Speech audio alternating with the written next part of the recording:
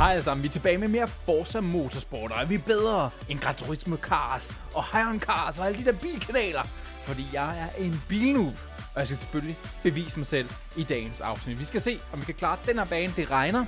Det er pisglat. Det er fuldstændig som at være i Danmark, når det regner det her. Så vi skal se, om jeg kan finde ud af at klare det her. Jeg synes godt nok, jeg prøvede, jeg prøvede testtræningen her. Det gik sgu ikke så godt. Jeg var faktisk reelt rimelig dårlig til det. Så nu prøver vi at se, om vi kan vinde seriøst igen. Det der går til noget, det vil jeg sygt gerne have. Som altid, må I, må, I, må I gerne efter et like, hvis I synes, at det er fedt. Og skriv en kommentar ned i kommentarfeltet. Hvad ser I af bilkanaler i Danmark? Ser I nogle bil-YouTube-kanaler? Og skulle jeg lade være med at smadre ham der? Den skulle da fed, den der bil. Hold da kæft, mand! Ej, det er fedt at se det indenfra egentlig. Det er totalt chill. Der regner lige nu i virkeligheden udenfor. Så det her, det føles bare som om, jeg er udenfor, men jeg er indenfor. Og det er, er lige så forvirrende, som, som det lyder. jeg hygger mig faktisk overraskende meget med det her spil. Jeg er endnu ikke sikker på, at jeg kan lide det bedre end Forza Horizon. Jeg synes, Forza Horizon kan noget. Det er sådan lidt arcade. Ah, der, måske skulle Okay, der er ikke så meget udsyn selvfølgelig, når man ser det her. Lad os lige se, om vi kan komme forbi her. Rui, det her, det, det klarede vi bedre, end vi skulle have. Vi er allerede 4 ud af 24. Det går overraskende godt. Det skal nok gå galt. Der står en fotograf der. Fedt lavet. By the way, okay. Nu, nu nørder vi lidt.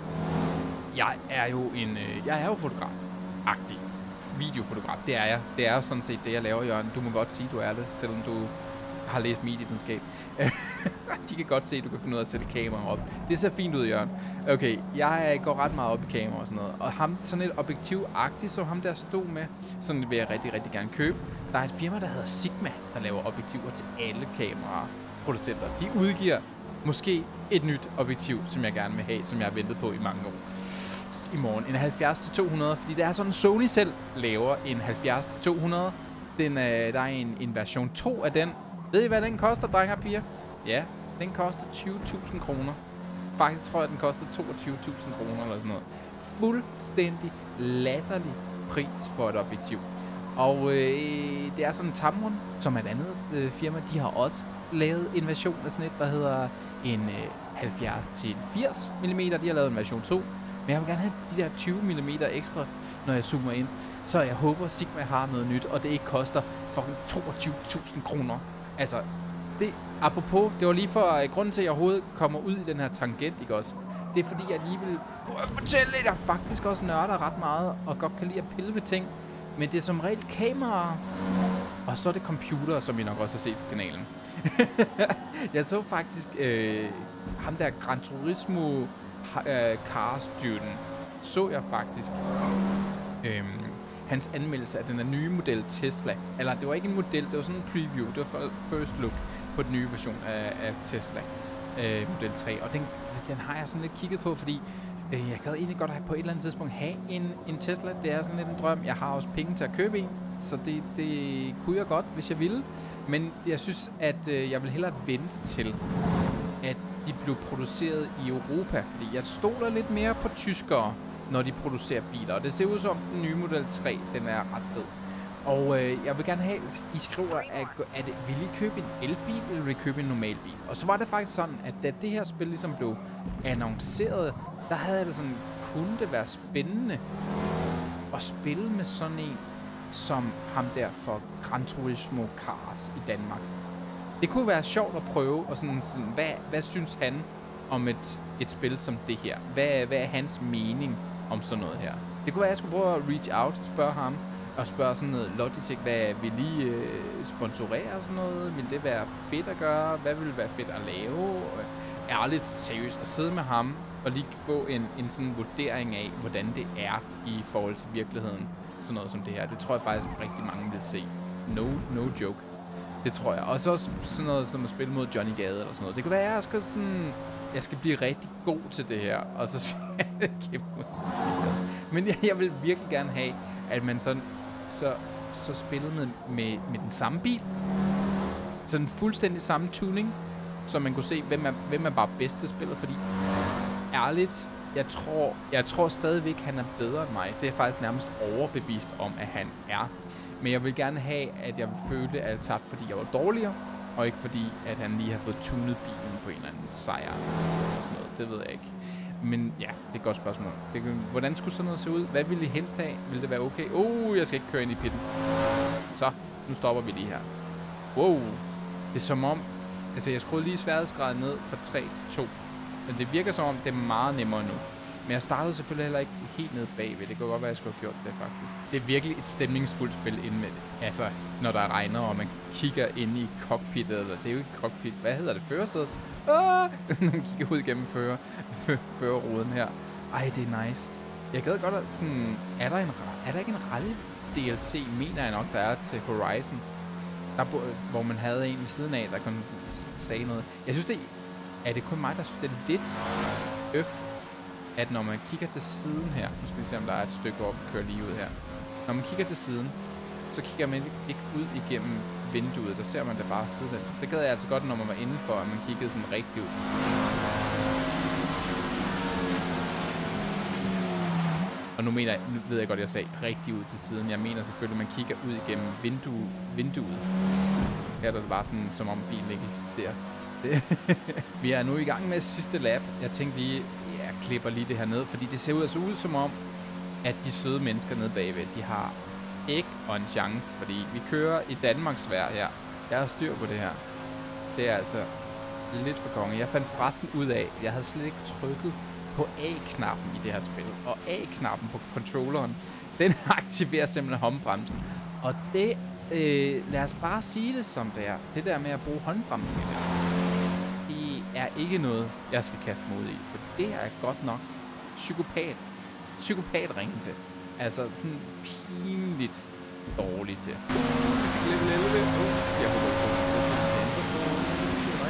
Sådan, vi kom på førstepladsen. Det var altså væsentligt nemmere, end jeg regnede med. Det virker som om sværhedsgrads stigningen fra 2 til 3 er ret voldsom.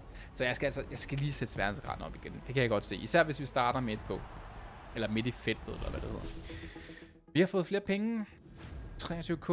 Uh, spring and dampers, fuel system, transmission, differential, driveline, ignition, tire comfort. Kan vide, om vi egentlig låser vi op, sådan vi bare kan købe flere biler. Performance, hvad har vi kørende her? Det var det, det er, var det airfilteret, vi fik? Eller exhaust? Og hvad gør udstød? Uh, Udstødningen giver gode ting. Prøv at se, at vi får noget mere acceleration. Og vi får også mere topspeed. Det var seriøst det, vi manglede. Ærligt. Vi har... Den skal vi have. Fordi det var topspeed, vi tabte. Der, hvor vi tabte i sidste afsnit, der var det, fordi vi ikke havde noget topspeed. Hvad har vi her? Vi har noget acceleration. Hvis vi har mere topspeed nu, så er acceleration sgu også meget lækkert. Og den er 100... Ved du, jeg tager sgu bare den her på. Det er sgu i orden. For at vi har det er fede ting. Vi har... Okay, vi har faktisk ret mange point tilbage. Endnu mere acceleration og braking. Ved du hvad, vi, vi, vi prøver bare upgrades på her. Vi kan lige så godt bruge alle pointene, fordi det virker som, du kan få dem tilbage. Bruger heller ikke penge på det, vel? Hvad har vi ellers? Hvad gør drivetrain? Vi har endnu mere her.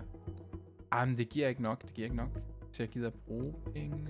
Gør det det? Nej, det tror jeg ikke. Ved du hvad, jeg tror det her, det, det er sgu meget godt dog. Exhaust, hvad var det nu, den gjorde? Den, den gjorde ikke så meget. Back to Se, vi har fået to mere i braking. Handling også lidt, men ikke nok til et helt point her. Speed, mere speed. Acceleration har vi også. Det synes det, det kører. Okay. Jeg tænker, setup manager. Kan vi egentlig... Det her med at tune det ved jeg ikke lige helt, om jeg stoler super meget på. Det skal jeg, det skal jeg næsten se en guide om. Breaking Force, hvornår den begynder... Åh, oh, hvor er det sindssygt, man kan alt det her. Ærligt, det er sindssygt. Øhm, prøv at se her, drenge og piger. Der er rigtig meget, vi ikke kan pille ved, fordi vi ikke er højt nok level generelt. Så car level 12 og 15, så begynder vi altså at kunne proppe sådan nogle rear wings, rear wings på, eller sådan noget. Jeg ved faktisk ikke helt, hvad det hedder. Flex spoiler, havde jeg ikke spoiler, det ved jeg, jeg ved slet ikke, hvad det hedder. Jeg ved rigtig meget om biler. Men jeg synes faktisk, det er ret fedt. Homestead Miami Speedway. Okay, så vi er i USA. Det er Miami. Prøv at, by the way, har jeg lagt mærke til, at controlleren, den, den matcher min bil. det lader jeg først mærke til lige før. Det er super tight. Og vi skal stadigvæk øh, køre igennem practice runs, før vi får lov til at blive sluppet ud på det rigtige race. Så vi kører her. Wow, okay, man kan virkelig se det Miami. Ej, hvor er det godt vejr. Det er noget af det, der... øh, Nu, nu snakker vi igen noget, noget nørdet noget, fordi jeg er jo en kæmpe nørd. Bare mere med kamera og sådan noget. Øhm, altså i USA, ikke også? Kalifornien. Det er jo der, hvor Los Angeles og Hollywood og alt sådan noget ligger. Og det er der faktisk en grund til. Jeg ved ikke, om I ved det. Men det er fordi, i- Los Angeles er en af de byer og en af de steder i verden, og i hvert fald i USA, hvor der er allerflest soltimer, og der er godt vejr tit. Og det er sådan, når du laver film, så har du brug for så mange soltimer som muligt, fordi altså, det, er, det er sgu svært at lave film, og hvis det er dårligt vejr, så kan du ikke filme, og så er du på skideren. Så derfor er det faktisk en af de største grunde til, at Hollywood ligger, hvor det er, fordi der er så mange soltimer. Men det er også derfor, at når man nogle gange, når der kommer nye kameraer, jeg ved godt, det kun er mig, der ser rigtig mange YouTubere, der anmelder kameraer, så ser det altid virkelig, virkelig godt ud. Optagelserne ser super, super lækre ud, fordi der er rigtig mange amerikanske fotografer, YouTubere, som anmelder øh, fotogear, som bor, sjovt nok, i Kalifornien eller i Los Angeles. så det er ofte sådan, jeg kan, der er virkelig tit, hvor, hvor jeg sådan, så har jeg købt et nyt kamera, og jeg går ud og filmer, og jeg filmer det flat, og jeg filmer det godt, og sådan noget, og så ligner det bare slet ikke det samme. Fordi det tit er sådan, i Danmark at der er overskyet og overskyet. Overskyet er faktisk ikke helt dårligt sådan filmmæssigt, fordi det, det hjælper på, øh, når man filmer mennesker og sådan noget, så bliver det ikke helt, det er ikke sådan helt kontrastet og ødelagt. Mere det er ikke så godt, når man prøver at lave noget filmisk lækkert, og hvor man prøver at ramme den der golden hour og sådan noget. Det er ikke så tit, det sker her med Danmark. Så det er tit sådan, at det ser sådan lidt mushy og lidt flat ud i Danmark, i forhold til, hvor episk optagelse ser ud i Kalifornien og sådan noget. Nu ved jeg godt, at, vi, at den, her, den her bane, jeg kører på lige nu, den foregår i Miami, og det er i Florida, så det er et stykke fra, så det er ikke helt det samme. Men det er mere det her lys, der er det her episke lys, der er golden hour inde i spillet lige nu. Det her, hvor solen går ned, og lyset er helt orange og sådan noget. Det er virkelig lækkert, og det er også, hvis man skal tage portrætter af folk og sådan noget i virkeligheden, så er det lækkert at tage billeder af folk i golden hour. Og det, det var bare et tip. Det var bare lige en lang nørdesnak om det. Hvis er der nogen af jer, der tager billeder, der godt kan lide at tage billeder, så skriv lige ned i kommentarfeltet, eller også optage video, fordi at optage video er næsten det samme som at tage billeder. Du optager bare mange, mange flere billeder i sekundet, så det ligner en video. jeg ved tjekke video. Åh, drenge og piger, vi har sat det på 3 igen.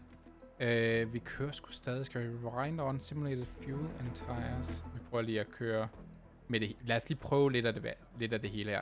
Vi starter på en 16. plads i feltet. Uh, lad os prøve. Vi sætter lige op. Nu er der regler på. Nu, nu kan vi mærke vores, øh, vores bildæk. Så nu er alt simuleret. Vi er i Florida. Det er et rigtigt... Det virker som et forholdsvis langt map, det her. Uh, der er ret mange penge på spil. Jeg håber, det her det kan, det kan gøre noget. Der var også noget Audi. Prøv lige at se, det matcher. Det er totalt godt tænkt. Jeg har slet ikke tænkt over det her. Okay. Puha. Nu, nu, nu synes jeg faktisk, der er lidt på spil her. Kom så. Kæft, den skriger den røde på, på bilen her. Jeg er kæmpe fan. Kom så. Okay, vi, vi kommer godt. Vi kommer okay fra start her. Det, det er meget pænt her. Ej, det gør vi overhovedet. Hvad laver ham der bæstet her til højre her? Så lad os lige komme i rundt om her. Og... Kom så. Kom nu, kom nu, kom nu. Ja, ja, no penalty. Vi kører. Der er helikopter her. Vi skal op på en fjerdeplads. Tredje... Nej, vi skal op på en top, øh, top 3 plads. Jeg kan faktisk ikke finde ud af, hvad for et... Ui, nej, nej, nej, hvad laver jeg? Collision. Jeg tror rent faktisk, vi kan blive nødt til at køre i pit forresten nu, så jeg skal køre lidt pænere. Uh, nu får jeg, øh, nu får jeg selvfølgelig... Øh, nu får jeg, nu får jeg tæsk for at køre ind i folk. Det skal jeg lade være med. Det var en avoidable contact. To og et halvt sekund. Ah, den er skidt. Nu skal jeg virkelig passe på, faktisk. Oh. Dude, den der Honda der, den skal skride. Kom så. Okay, nu bliver det sådan rigtig simuleringsagtigt, det her spil. Det kan jeg godt mærke. Ham der, han skal skride.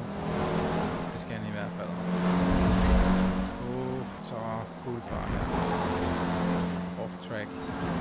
No penalty. Okay. Hvorfor var jeg off track? Var jeg det? Er det bare mig, der var blind? Var det et stykke af kortet, jeg ikke helt fattede? Hvad er det? Oh. Okay, jeg mener faktisk, det her til venstre er sådan lidt off track. Okay, vi, vi er faktisk top 3 nu, det havde jeg ikke set. Hvad? Hvorfor er vi allerede det? Okay. Okay, jeg har spillet bedre, end jeg troede. Det må godt være, at de der 2,5 sekund er, er det værd. For ikke at... Uh, nu skal jeg også lige spille ordentligt. Ikke nogen, ikke nogen penalties. Ikke nogen penalties. Ej, jeg har stadigvæk Ryan. Det bliver jeg lige nødt til at bruge. Shit, jeg sagde lige... Ej, hvor spiller jeg bare godt her. Vi skal... Okay, jeg må heller ikke rewind så meget, som jeg troede. Hvad er det her for noget pis, jeg har gang i?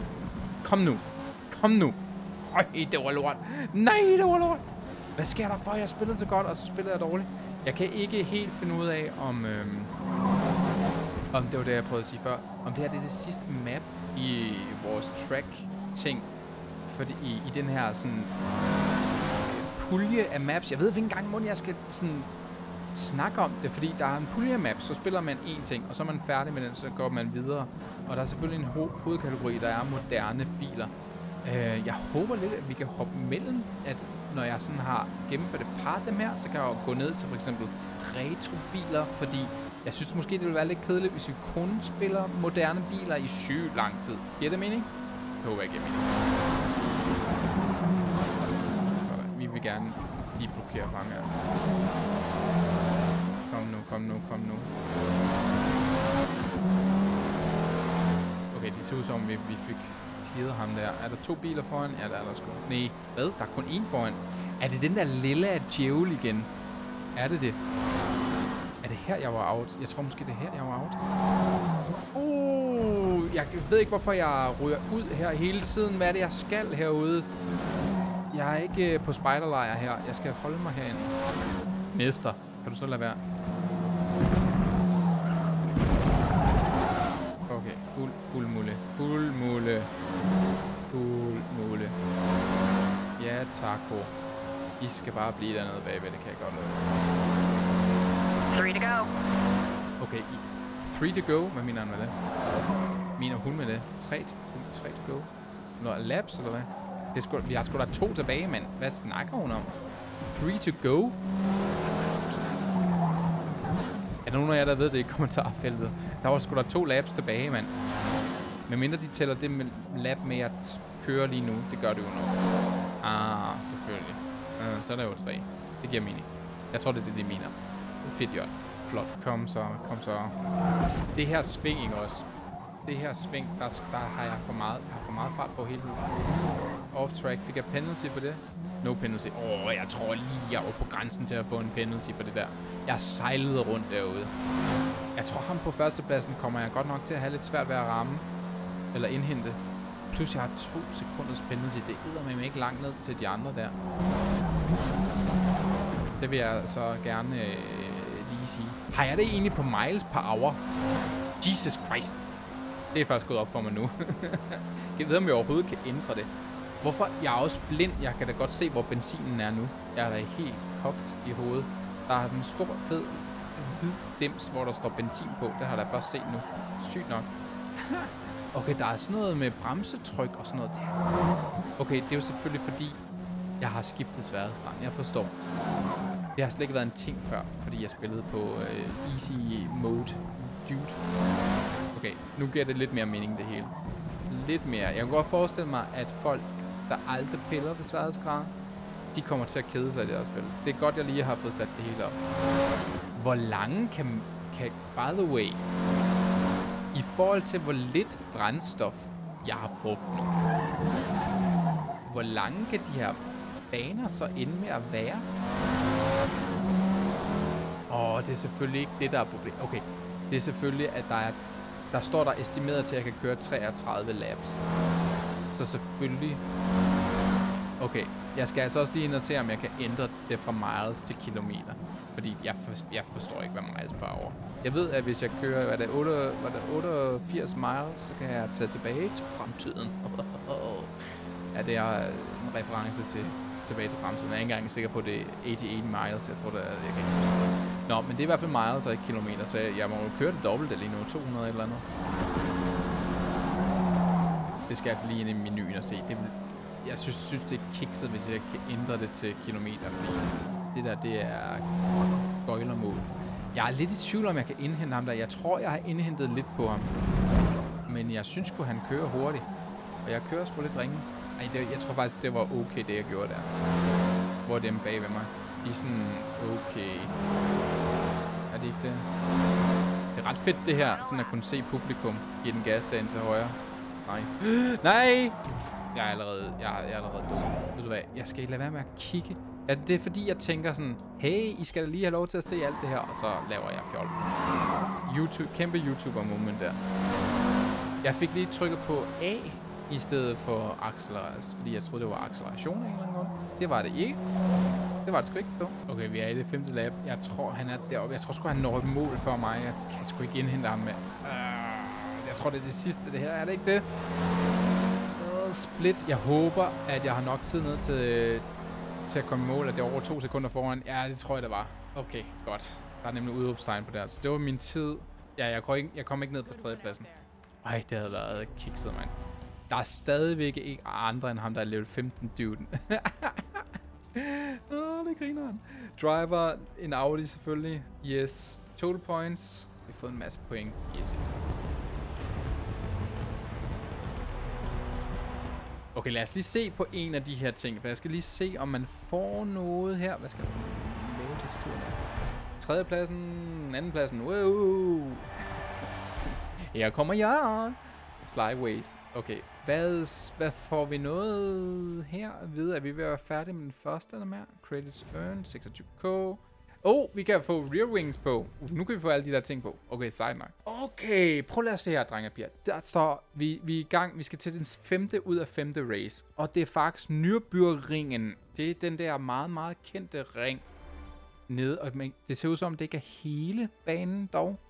Den er jo legendarisk, den her. Det er der, hvor jeg mener, man tager... Det er sådan en standard testbane, mener jeg nok, for moderne biler i Europa. Så det er vist næsten altid den, hvis jeg husker korrekt, som bruges, når man skal teste, hvor hurtig en bil er i Europa her. Det er jeg næsten sikker på. I må lige rette mig ned i kommentarfeltet, hvis jeg ikke har helt ret.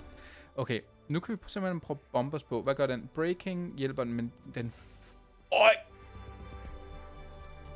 Prøv lige at overveje, hvor meget den ødelægger speed, den her. Man gør braking. Jeg mener også, at det er rigtigt nok, den gør hvis det ikke rigtig noget. Breaking...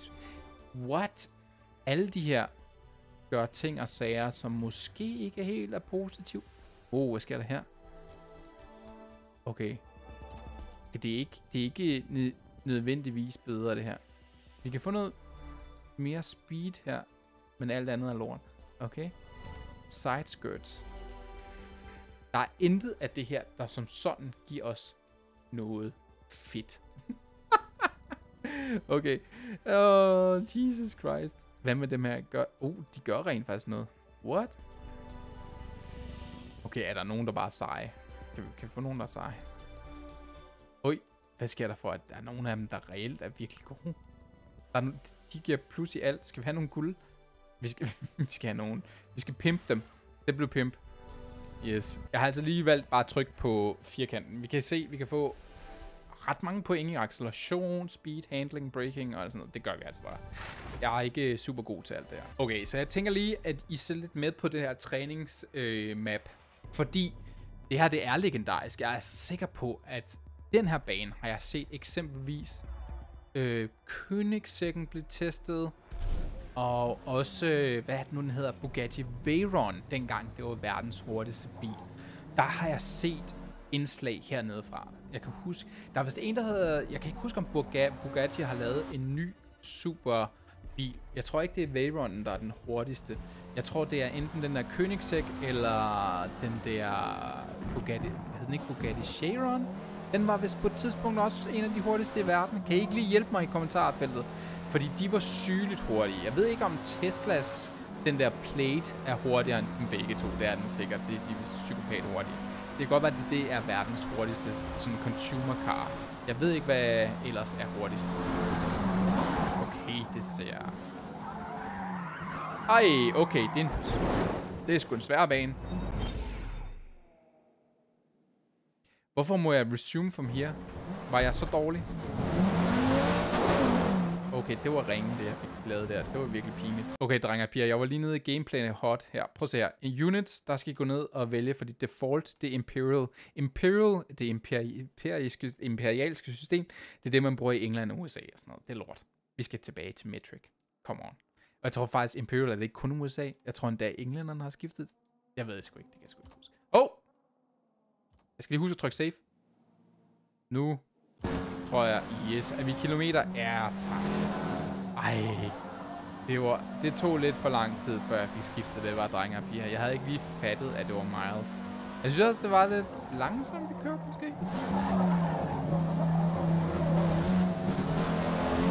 Nu skal jeg lige have styr på den her bane, fordi det virker ærligt talt som om, at den er lidt sværere, end jeg havde regnet med. Jeg synes, jeg kunne huske, at grunden til, at man også testede det på den her bane, det var fordi, den havde nogle ret lange, lige passager. Jeg synes ikke, det her virker som om, det er så lige. Så jeg begynder at tænke på, er det overhovedet den her bane, jeg tænker på? Eller er det netop fordi, de har, vi ikke spiller den fulde bane? De har, det så ud som om på det, det, jeg så i previewet af den her bane, at der var noget, der var låst af fra den her bane. Så jeg tror kun, det er en lille del af den. Ej, det kunne godt være her. Prøv det her, drenge og piger. Det kunne godt være det her stykke. Og så tror jeg, det starter i virkeligheden lidt længere nede bagved. Sådan at der er meget længere lige stykke her. Det kunne godt være her. Ej, det, øj, det ser fedt ud her. Hey! Godmorgen sol. Du har guld i mund. Eller... Yes. Ja. Okay, drenge og piger. Vi starter sådan lidt midt på øh, midt i line-uppet her. Jeg føler mig ikke super god til den her bane. Der er nogle seriøse steder, hvor man skal bremse helt op og dreje, og jeg synes ikke, min bil er særlig god til at bremse. Øh, jeg ved godt, jeg giver... Altså, det er sådan noget med, at man går for max, max gas til sådan... Nærmest ikke noget gas. Øhm, det er jeg ikke god til. Så jeg, og jeg skal virkelig holde øje med kortet ned til venstre. Jeg kunne godt tænke mig, at jeg lige kunne flytte det lidt eller sådan noget. Men ned til venstre, der skal vi holde øje. Prøv at se allerede her, øh, forholdsvis tidligt. Det er faktisk en af de værste af dem. Den kommer her, og det, det er lige præcis så langt, at man glemmer, at den kommer. Jeg skal næsten allerede ned i hastighed her. Prøv at se her. Jeg ved faktisk ikke. Nej, jeg kommer ud fra track. Det måtte jeg ikke her. Fik jeg penalty? Nej. Okay, heldigvis ikke. Men prøv at se. Den, den er ikke så slem nu. Men hvis jeg glemmer den, så er jeg på skideren. Det kan jeg godt love jer for. Okay. Det er faktisk virkelig pænt, når der er lige lidt overskyet, men skiftet med sådan noget lys. Øh, med noget sol. Collision off track. Oh, det er vildt, jeg ikke får penalties for det her. Og vi ligger os... Nej, hvad laver du? Hvis jeg får penalty for, dig, for det, så bliver jeg sur, for det var ham, der bankede ind i mig. Okay, godt. Puh. Okay, vi kører, vi kører. Jeg skal stadigvæk helst... Uh, nej, nej, nej, nej, nu glemmer jeg at kigge på kortet. Nu glemmer jeg at kigge på kortet. Der var en collision. Det var ikke så godt. Ja, det var, det var sgu min egen skyld, det der. 100. Jeg vil gerne køre videre, for jeg synes... Jeg har ikke rigtig lyst til at bruge rewind, medmindre jeg laver en kæmpe kæmpe fejl. Okay. Oh, jeg kan godt mærke hernede bagved, det, det, er ikke så, det er ikke så godt her. Okay, vi får noget fart på her. Nu, nu skal vi bare give den gas her. Det er det gode stykke. Nu håber jeg nok top speed til at hente de andre. Øh, mester. Uh, de andre her, de andre her. Off track. Uh, var det for meget? Nej, heldigvis ikke. Okay, se her nu. Nu skal vi snart ned i hastighed. Ja, forbi ham der. Se her, lige om lidt. Der skal vi dreje også. Total time penalty is about two and a half seconds. To og et halvt sekund, okay. Noget penalty her. Den er ikke god, den er ikke, den er ikke god, drenge og piger.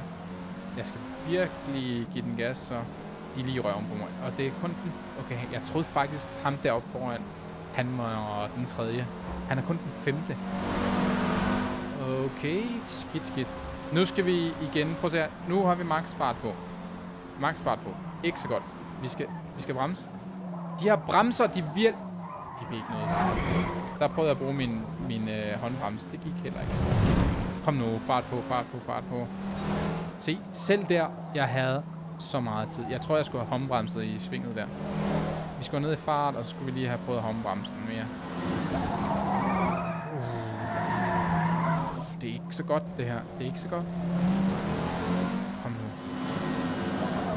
Efter popcornsbilen her. Det, er, oh, det presser mig, at vi ikke er kommet bedre ud af det her. Se, nu skal vi igen ned, helt ned i hastighed her. Ej! Nej, nej, nej, nej. Okay. Jeg ved ikke hvorfor. Det så da også fuldstændig unaturligt ud. Undskyld. Det er sådan ville den ikke rigtig i virkeligheden. Det tror jeg, det tror jeg sgu ikke på. Okay, vi, vi lader være med håndbremsen her. Det er det der med at... Det, jeg er ikke god til at bruge håndbremsen. Man skal virkelig... Man skal ikke have meget fart på, før man bruger den. Jeg ved, om jeg overhovedet kan hente dem. Jeg føler... Jeg føler ikke, at jeg kan den her bane. Kom nu. Kom nu, Jobo. Kom nu, Jobo. Kom nu, Jobo. Kom så, Jobo. Giv den gas. Kom så, max fart på. Oh my god. Jesus Christ. Kom så. Ja, ind over der. Ind over der. Det kan vi godt. Det er lidt off track. To. Please. Time penalty is about 5 seconds. De giver mig en syg meget penalty for det der. 5 sekunder. Okay, det er jo reelt et problem. Åh, oh, shit. Det var ikke så godt. Okay, man kan ikke bare tage den lige over. Der, der, wow, wow, wow. Det var, jeg vil ikke have trykket på... Okay, jeg vil ikke have trykket på det. Hvorfor kan jeg ikke bare få lov til at... 5 sekunders penalty. Det er jo reelt et problem. Så, drenge og piger. Nu ser vi lige hernede, hvad vi kan gøre. Nu skal jeg også huske at bremse. Sig mig, det fordi bremsen bare ikke virker. Fik jeg også... Okay, jeg fik ingen penalty der. Hvad er det, jeg ikke fatter? Sig- Vi er da enige om, at det er bremsen. Jo, jo. Okay, jeg var sådan, er det overhovedet bremsen, eller hvad? Jo, ABS. Jo, jo, jo, jo, det er bremsen.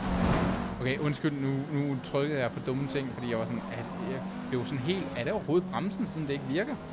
Det der, jeg tror bare, at bremserne er fuldstændig modbydeligt dårlige på den her bil her. Uh, jeg tror ikke, det, det er godt. Off track 2. Jeg tror sgu lige, vi bliver nødt til at... De tager den sgu lige igen. Det der, det var virkelig, virkelig dårligt. Jeg tror, vi vil ikke off track for meget her. Kom nu. Kom nu. Og så fuld fart på. Please. Fatter ikke. Det er som om, de er for hurtige i forhold til min bil. Kom nu, mester. Kom så. Okay, lad mig lige lægge mig ordentligt her. Kom nu, kom nu, kom nu. Kom så. Kom så. Lad mig nu overhale. Jeg er simpelthen træt af at se på ham der popcorn, popcornsbilen der. Sådan. Kun en til. Kom nu. Kom nu. Okay, vi skal ned i hastighed her. Off track 2. Lækkert. Det går galt. Off track 3. Jeg tror lige, vi prøver det igen. Hold kæft, det var lort. Prøv tre gange. Tre gange igen. Hvad, hvad var det? Jeg, no penalty fik jeg. Den tab. Den er godkendt. Den er super godkendt. var det ikke bare sådan tre gange i virkeligheden, jeg var ude? Hvorfor fik jeg ikke nogen penalty? Det er jeg seriøst chokeret over. Det var lort, det jeg lavede der. Kamplort. Kom så BMW. Fuld fart på. Kom så. Okay, vi skal næst... Vi skal til at ned hestet igen her. Jamen, jeg gider det ikke. Han bremser, han bremser herom. Han bremser herom. Så vil jeg også have lov til at... Okay, det er for meget. Off track. For jeg, tra- får jeg noget her? No penalty. Okay. Jeg ved, jeg ved ikke simpelthen, hvordan jeg skal lægge mig for, at det bliver sådan super tight. Det er sgu ikke... Øh... Jeg har ikke... Jeg tror bare, det er, det er mangel på skill. Så det, det er vel egentlig fint nok. Oh, den der popcorn fyr der, han skal bare holde sig væk fra mig. Kan du ikke være med til det? Hold dig væk. Okay. Nu skal vi sgu se ned i fart igen her. Nu føler jeg, at jeg tager, jeg føler, at jeg tager de der øh, nålesving alt for skod nu. Altså sådan, jeg tror, jeg skal længere ud og ind og stadig have fart på. Nu har jeg for lidt fart på. Det er sådan... Øh, det er skidt. Den anden kan jeg også godt tage. Jo. Kom så. Jeg har heller ikke brug for at proppe benzin på endnu. Det, vi skal ud på nogle længere ture før det. Kom nu, kom nu. Jeg tror sgu ikke, jeg får en tredjeplads. Det, jeg har sgu spillet dårligt. Det er den her igen. Den kan jeg ikke. Jeg kan ikke. Jeg kan ikke finde ud af den her. Total time To. penalty is about six and a half seconds. 6,5 sekund straf. Det er sgu ikke så godt. Ej, nej, nej, nej, nej. Også hvis jeg kommer forbi ham, så skal jeg 6,5 sekund hurtigere end ham. Den er ikke god, den er ikke. Last lap. Det er sidste lap, vi er på nu. Okay. Ah, jeg synes godt nok, det er et lortelap, det her. Eller det er et dårligt sted, det der. No penalty. Kom nu, kom nu, kom nu, kom nu, kom nu, kom nu, kom nu, kom nu, kom nu, kom nu, kom nu. Fuld fart på. Der er ikke så meget fuld fart på, ja. Hvor er det dårligt. Der jeg har ikke noget handling på det her lort, mand. Han tager den derfra. Han tager den derfra. Det kan godt være, jeg skal herover. Jeg tror også, I kan sikkert se alle mine fejl. Jeg, jeg, har, jeg er ikke så god til bilspil endnu, så jeg kan ikke se mine fejl helt. Øh, jeg er også vant til, at der er blå skaller og grønne skaller og alt muligt. Og røde mushrooms med, når jeg spiller de her spil. Kom så. Kom så. Kom nu. Lad mig nu komme forbi ham der. Det er den her igen. Nej, det er den her igen. Hvorfor er det, at jeg altid... Åh, oh, collision også. Jamen, det var da dejligt. No penalty. No penalty. Hvordan kan det overhovedet lade sig gøre? Ej, nu trykker jeg på rewind. Åh, var... Åh, hvorfor kan man ikke cancel med rewind? Jeg, jeg får tit trykket på den ved en fejl. Så, kan du gå væk? Kan du gå væk? Jeg skal, jeg skal stadigvæk 6 sekunder hurtigere. Ikke engang 6. 6,3 jeg skal være. Kom nu, kom nu lille bil. Fuld fart på, fuld fart på. Hvor er han? Han er der. Okay. Okay. Uh, jeg lige levelede vores biler til level 19. Hold da. Jeg ved, hvad vi unlocker nu. Bliv dernede. 6 sekunder. Det er jeg sgu ikke sikker på, jeg kan. Nu skal jeg også lige... Det er det her kryds. Ah, hvor jeg kan bare ikke finde ud af det. Off track. No penalty. Det er godt. Det var kun fordi, det, det var fordi, der var en. Hver gang jeg har lavet en double off track, så har jeg fået psykopat penalty. Så det skal man, det skal man virkelig ikke gøre. De vil virkelig gerne have, at man tager den slalom der. Ah, kom så. Hvor meget hurtigere kan jeg gøre det her? Jeg tror sgu, han får mig stadigvæk. Han har sikkert ikke fået nogen penalties, den der two goodies two shoes dernede. Er vi ikke, øh, er vi ikke ved at være der? Er det ikke her? Jo, det er her. Ej, jeg fik fjerdepladsen. Jeg fik sgu fjerdepladsen. Ja, ja, det var mine penalties. Nu, prøv lige at... Ej, det er under et halvt sekund. Prøv lige at se ham. Hvor er han nederen. Jo. Okay, men jeg fik førstepladsen samlet, eller hvad? Okay, det er sgu i orden. Okay, vi, vi fik førstepladsen. Så alt er godt. Uh, sådan. Ej, tredjepladsen. Fappe. Sur knot. Hvem er du? Nej, hvad? First face mint. Nå, er det det her track? Jeg tror det var samlet. Hvad sker der? Jeg troede, jeg var nummer et i samlet. Hvad sker der her? Jeg har ikke styr på en skid. Jeg har ikke styr på noget. Jo, der var first place in performance. Yeah, 1500 credits. Enthusiast Tour. Vi kan faktisk komme videre til en anden en. Aha. Eller hvis vi trykker exit her, hvad får vi så lov til? Okay, prøv lige at se her. Så vi har faktisk unlocket. Det var heldigvis, som jeg troede. Vi, vi kan simpelthen spille nu Enthusiast Tour, som er en anden en. Så der er, det ser ud som, det er mere sådan retro, retro biler.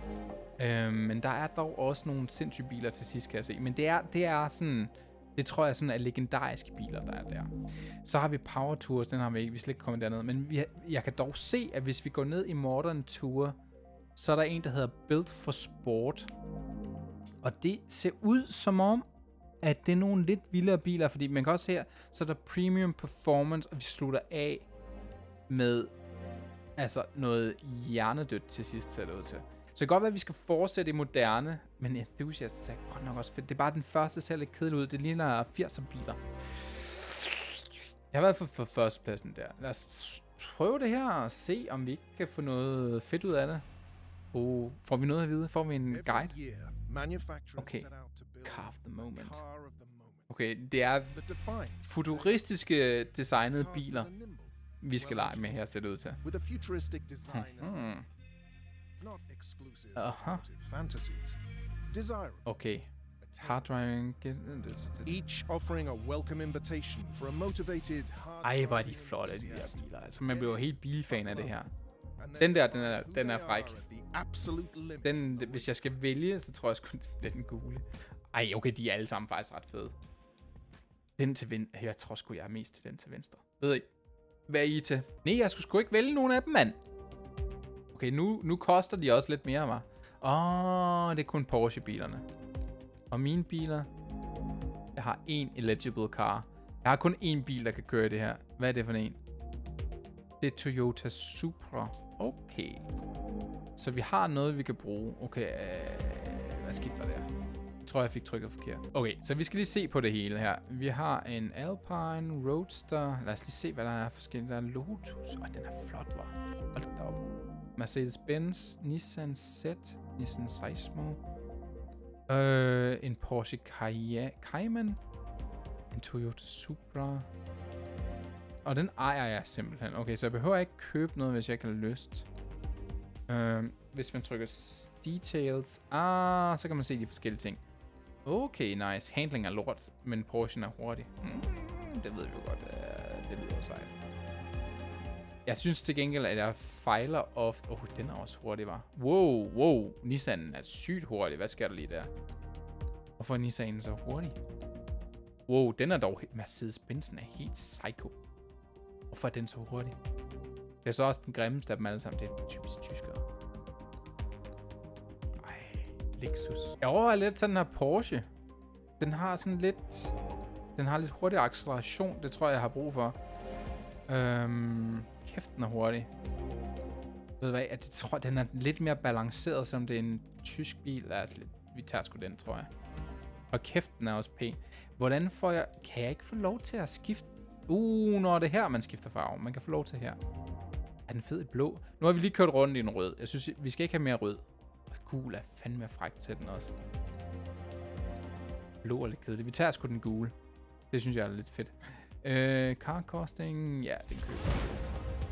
Så starter vi selvfølgelig igen forfra i vores levels. Whatever. Vi gør det. Så kan vi se, hvad det, vi kan opgradere den. Ej, den er fed. Den er fed. Hvad er det første? Silverstone Racing Circuit. Lad os, lad os prøve. Lad os gøre det, mand. Performance. Oh, det kan være, at vi lige skulle se, om um, vi har... Vi kalkulerer det her. Speed, acceleration to speed. Øh, hvad, hvad kunne vi egentlig opgradere den med? Air filters. Okay, der er alt muligt igen. Setup manager, det var ikke det, jeg ville. Vi trykker continue, og så prøver vi. Så det er Silverstone Racing Circuit International. Jeg tror Silverstone, er det ikke også i USA? Jo, det er det vist. Er det ikke... Jeg tror, det er USA, det her. You can't win the race on your You can't win the race on the first lap. Ja, ja, ja, ja, ja. Og der er seks maps, seks races i den her serie. Oj. Lad os lige se vores flotte bil her. Og vi starter... Oj, okay, vi kører allerede meget hurtigere. Okay. Jeg tror, at vi er væsentligt opgraderet i speed. Det er sgu meget godt, fordi jeg synes godt nok, der var det. Og det er her, det er off-track. Ah, jeg tror, det, det er det, jeg fik gjort ved den her Nürnberg også. Wow, wow, wow, wow, rewind disabled. Det er også kun fordi, det er træning. Okay, Yes, jamen jeg skal skulle lige vende mig til den her bil, fordi lige pludselig kører vi meget hurtigere. Wow, den lyder vildt, den her. Vun, vun, vun, vun. Ej, den lyder meget anderledes end de andre biler. Det er fedt, de har så meget karakter, de forskellige biler. Det vil jeg så gerne sige. Ham der, han skal skride. Kan du skride? Jeg er altså lige ved at prøve at sætte en, en hurtig lap. Du skal skride. Kæft, den er pæn, den er bil. Okay, prøv nu at se her. Jeg har lige klaret det her træning. Prøv at se, selv når vi placerer os helt oppe i toppen, så er vi projekteret til at ramme fjerdepladsen og sådan noget. Jeg tror, spillet siger, hey guy, nu har vi tænkt os at gøre det her spil svært. Øh, vi prøver altså at starte der. Ej, prøv lige at se, hvor pænt det er. Silverstone, England. Og når vi i England. Er vi i USA? Nej, vi er i England. Jeg, igen, jeg var sgu ikke så god til, til det her, til opvarmningen. Øhm, banerne er begyndt at blive væsentligt sværere. Så, nu må jeg se. Cayman GTS. GTX. Okay. Er pæn. Nå. 3, 2, Lad os se, hvad vi kan gøre ved det her. Kom så, fuld fart. Ej, by the way, der er noget, jeg gerne vil fortælle jer. Hvis jeg... Øh, kan... Jeg håber ikke, jeg fik penalty for det der. Jeg synes lidt, det var dem, der kørte ind mod... Total time penalty is about half a second. Det synes jeg ikke. De kører sgu da ind i mig. De samlede sig foran mig. Det gjorde de altså. Det er jeg ligeglad med. Det gjorde de altså. Det var sgu da super irriterende, de gjorde. Starter vi lige med en god penalty. Tak for lov. Nå, hvad havde det, jeg ville til at fortælle? Det var i går, der var jeg på besøg hos YouTube i Danmark. Det var mega, mega fedt. det vil jeg bare gerne dele. Jeg så rigtig, rigtig, rigtig mange øh, dejlige YouTubere og alt sådan noget. Jeg så Søndergaard, jeg så Brohave, jeg så Versinger, jeg så Lakserytteren, alle mulige sjove ting. Det var faktisk ret spændende. Jeg håber, jeg Judex og Shady så jeg også. Det var super, super hyggeligt, og Marie Watson var der også, og alt sådan noget. Det var faktisk en virkelig, virkelig hyggelig dag. Øh, og de havde burgers og alt muligt, eller lækkert, som vi spiste bagefter. Uh, yes. det var sådan et event, der handlede om uh, YouTube Shorts. Så uh, ja, vi var heldigvis begyndt at, at lave nogle shorts, Christina og jeg. Men noget, der var interessant, det var, at selvfølgelig så boomede shorts sygt meget. Men det, der var interessant, det var faktisk, at lange, rigtig lange videoer var begyndt at køre, eller gå rigtig, rigtig godt. Så sådan noget som, øh, som podcast og sådan noget, det gik rigtig godt, fordi folk var begyndt at afspille det rigtig meget på tv. Altså bruge YouTube på tv. Så det var sådan lidt en, en moderne trend, og det var også derfor, jeg, jeg, jeg havde lidt fattet det, fordi jeg snakker meget med Mark Tange, Markus HD, den gode fyr. Og han laver podcast nu, og han tjener faktisk, irrit, ikke irriterende mange, men han tjener mange penge faktisk på hans, øh, hans øh, podcast i forhold til, hvad vi tjener per video, vi laver på YouTube, Christina og jeg. Og det er simpelthen fordi, at hans videoer, de varer i super lang tid. Folk vil gerne se det hele, eller i hvert fald sætter det på måske, og så kører det på tv'et, og så tjener de forholdsvis mange penge på det. Så det er en, øh, det er også derfor, jeg er begyndt nu, i stedet for at lave de der 20 minutter af en serie af gangen, så skal vi have helst halvanden time eller en time nu. Fordi et, man, bliver ikke, man spammer heller ikke sine brugere lige så meget, eller sine seere med lige så mange afsnit. Plus at øh, dem, der ser det, de ser nok længere tid ad gang. Så det er også en af grundene til, at jeg begynder at lave ret lange afsnit. Og der, ej, jeg synes ellers, jeg spillede godt der. Det gjorde jeg så ikke helt. Uh, eller hvad? Jeg fik slet ikke noget... Jeg fik faktisk ikke noget. Okay, det var faktisk okay. Nej, okay, og så dummer jeg mig her. Ah, men for helvede. Jeg er virkelig sådan, wow, det gør jeg godt. Og så er jeg bare sådan, så holder jeg ikke øje med, hvad jeg laver. Det er virkelig, virkelig skidt. Vi prøver skulle lige igen her. Så fuld fart på. Ja, tak. Han er virkelig langt foran ham, der er foran mig. Det ved jeg sgu ikke, om jeg kan gøre meget ved. Vi prøver, vi prøver at gøre alt, hvad vi kan. Jeg kan godt lide den her bane. Jeg kan godt mærke, at det, det er den første bane. Den, var, den er ikke lige så svær, som den er Nürnberg, synes jeg. Det er lidt nemmere at lægge sig ordentligt. Det er nogle lidt bedre sving. Der er lidt mere plads til at svinge, hvis det giver mening. Den er Nürnberg, der var der bare fuld mulle, og så var der bare stop.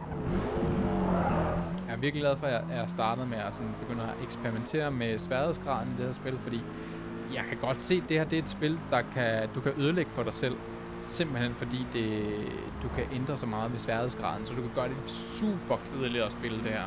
Helt vildt faktisk. Det var, det var sådan, jeg startede. I starten, der tænkte jeg lige, åh, oh, det er fedt med biler og sådan noget, men det er lidt kedeligt, er det ikke det? Og så var det bare sådan, ja, det er lidt din egen skyld. Så husk, få lige pillet ved sværhedsgraden. Det sving tror jeg faktisk jeg to OK. I må meget gerne skrive, om jeg spiller det her spil sådan, du er nok helt forkert.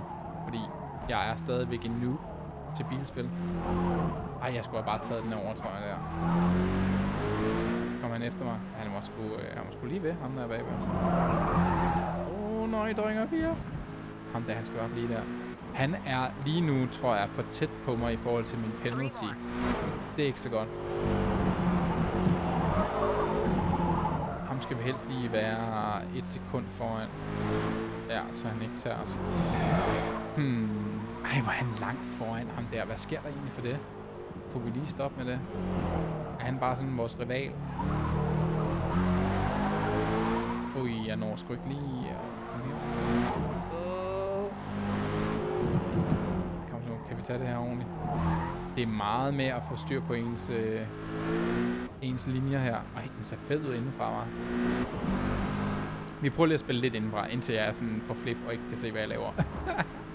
det er meget klaustrofobisk inden. Jeg har dyb respekt for de der øh, bilkører i virkeligheden.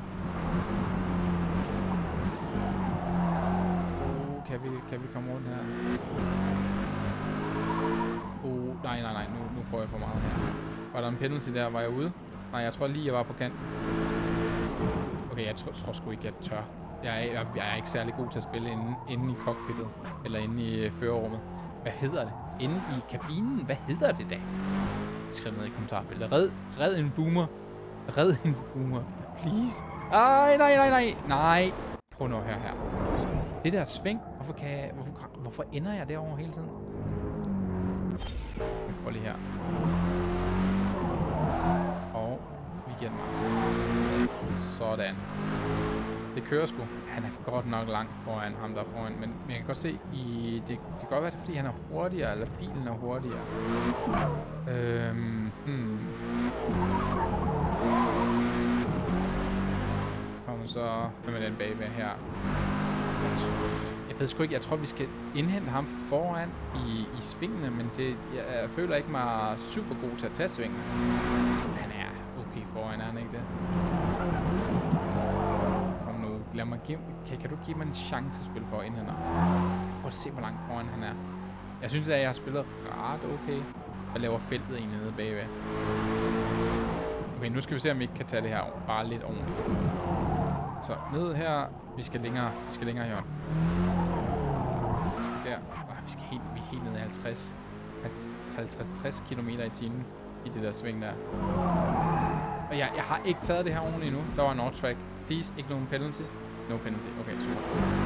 Jeg ved, hvad, hvad reglen er. Skal man være ude, sådan helt ude, i mere end x antal millisekunder eller sådan noget? Der må være nogle regler, jeg ikke kender. Det er i hvert fald det, jeg tænker. Og til det sidste lap her. Kan jeg overhovedet? Han er, han er faktisk okay tæt på mig nu. Jeg kan bare... Ah, det er nogle hårde sving. Han er længere foran, end, man, end jeg lige regner med. Det er bare fordi, det ser virkelig tæt ud, ikke? Eller hvad? Kan vi nå ham? Kom nu fuld fart på. Gå nu væk, bil, fordi jeg har penalty. Du skal være længere væk, ja. Car level up. Uh, car level 4. Okay, nu prøver vi det her febrilske lorte... Nej, kom nu. Nej, nej, jeg vil gerne. Yes, tak. Yes, ja, ja, danke. Ja, danke. Tror sgu, vi klarer den. Åh, oh, nu, nu, nu er jeg ved at gøre det der igen. Jeg synes, jeg får ham sgu ikke. Han er fandme foran. Hold op, han er langt foran. Nej, du må ikke være der. Tredje pladsen. No, jeg skulle til at sige, at han måtte slet ikke være der på grund af vores... Øh... Nå, surt. P3. Ja, ja. Tredje pladsen. Det er fint nok. Vi får lidt. Jeg tror ikke, jeg tør at være meget længere nede i feltet, når, det er, når de spiller så vildt. Dem på førstepladsen. Ja, vi har Rim Styles. Okay, det er fint. Vi kører direkte videre til den næste. Det er Grand Oak Raceway National Circuit. I hvilket land? Hvor er vi henne? Hvad er det? Um, Final turn here at Grand Oak. Grand Oak Gambler will test. Start. Det er andet ud af any races her. De siger, at hvis vi er præcise, så øh, bør vi ikke skulle bremse så meget. Jeg aner ikke lige, hvor vi er. Øj, øj, det er pænt her. Så er der lens flares. Hvis vi kunne spille i det her hele tiden. Hold kæft, det er smukt. Ved I, hvad jeg tænkte på? Det her spil øh, kunne egentlig godt bruge sådan en kommentator, når man spillede. Jeg gad godt at have sådan en, en, en lille historie, hvor der var sådan en, der fortalte sådan om de forskellige biler og sådan noget. Det ville være ret tight. Det er måske bare mig, der tænker sådan. Okay, det er nogle ret brede, øh, brede sving, det kan jeg godt se.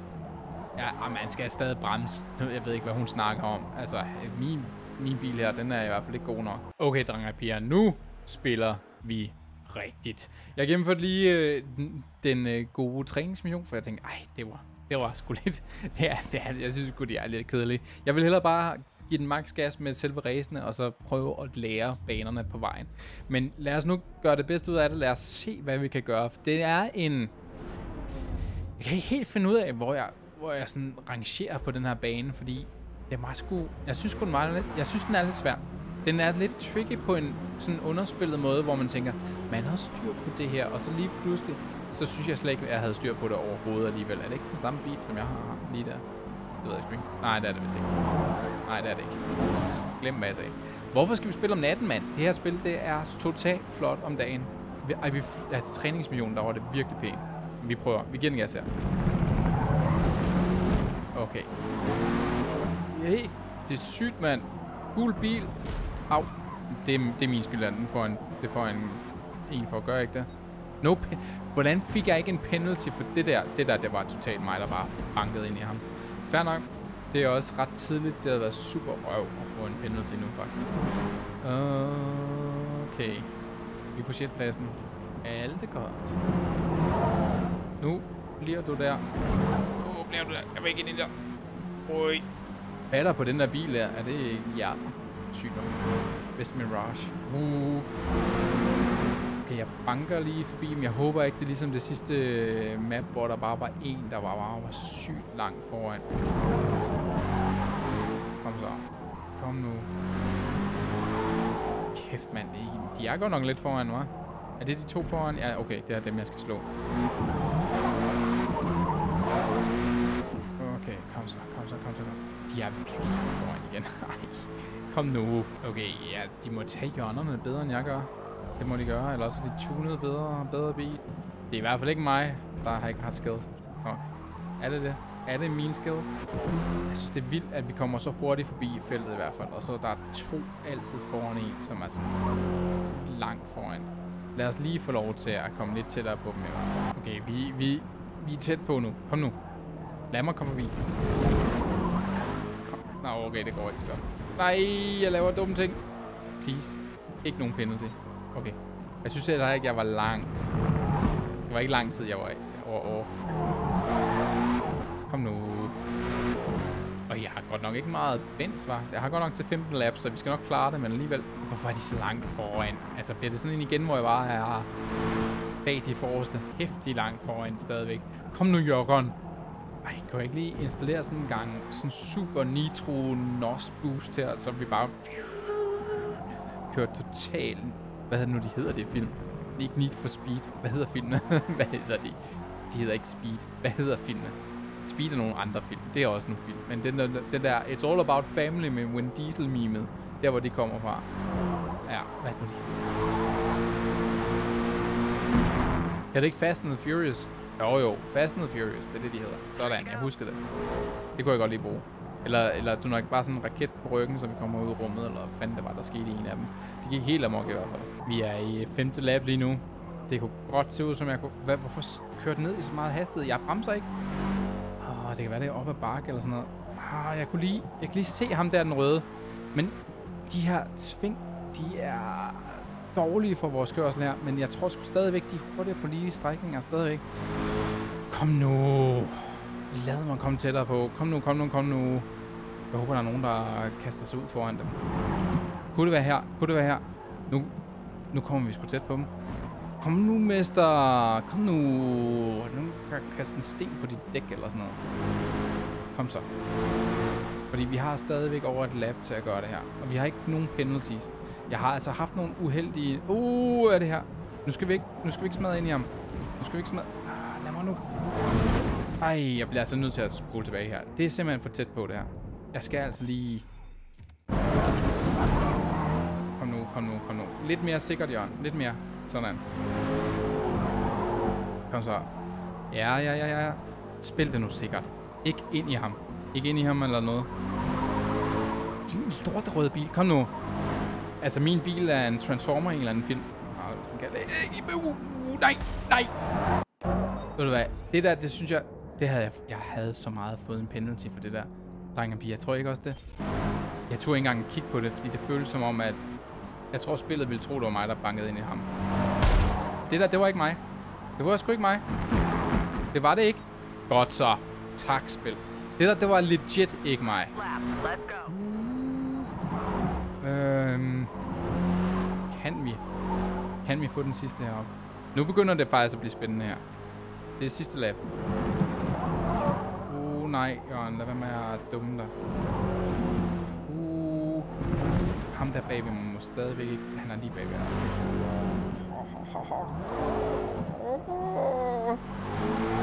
Ej, jeg kan ikke... Jeg sejler rundt i de her sving. Det skal jeg, øh, det skal jeg lige øve mig på væsentligt mere. Ham der, han skal holde sig helt væk. Det skal han ned med med. Kan du holde dig væk? Okay, hold lige øje med... Nu er der det der sindssyge sving heroppe. Kan vi... Øh, han bremser allerede. Kan jeg være fræk? Nej, han er for hurtig. Nå, for hurtig sving. Det er, jeg tror sgu ikke, jeg skulle have bremset så meget der. Jeg tror, øh, jeg tror sgu godt, jeg kunne have klaret den uden at bremse alt der. Alt muligt der. Det næste er til gengæld ikke så god.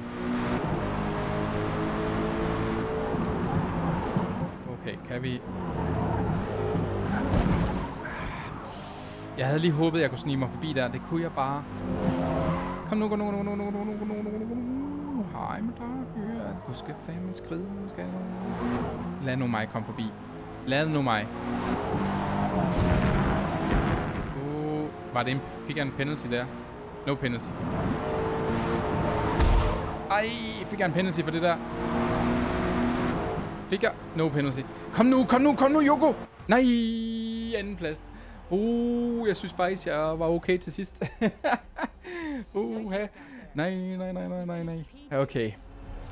Fik jeg overhovedet nogen penalty? Det ser ikke sådan ud. Okay. Det var sgu, det var okay. Hvad ser, hvad ser vi ud til? Kan vi noget her? Hvad får vi? Hvad level er vi? Vi har 600.000 dollars. Reach car level 6. Let's go. Continue. Så hvad er det? Cayenne level 7. Skal vi lige se, hvad vi har. Vi unlocket. Hvorfor er der så lyst derinde? Hold da op. Hvad vil de opgradere selv her? Øh, acceleration. Alt det øh, Yes. Nå, jeg vil sige tusind tak, fordi I ser med. Husk at tage like, abonner, alt det der snask. Skriv ned i kommentarfeltet, om jeg skal lave flere videoer i den her serie. Vi ses alle sammen. Hej hej.